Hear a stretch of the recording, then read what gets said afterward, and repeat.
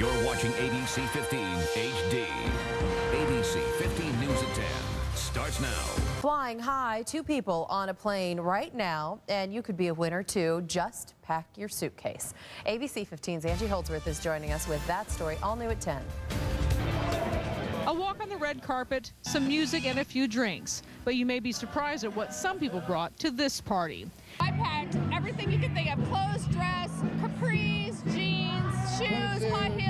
swimsuit, underwear. Change of shirts and two shorts. Pretty much any outfit I could possibly need. That's because one person here and their guest will leave in this for a weekend in California's wine country. We thought if we came up with something that no one's doing in the valley, that might just help drive people out. And everybody wants to go out and have a good time even when things are down. It's the first Phoenix Suitcase Party, a fundraiser by the 2030 Club to raise money for charities like the Make-A-Wish Foundation. There's so many people in the world who are so less fortunate than us, and I, I like to donate to good causes. I think it's a great cause. The cost, $100 a person for the party and the chance to win. I'm feeling lucky. I'm pretty sure we're gonna win. Just a feeling. Within minutes of the drawing, the winners whisked onto the plane with a $500 gift card in hand for an unforgettable way to win an unforgettable trip. Pack everything or pack nothing. Either way, you're going to get to Sonoma and have a great weekend.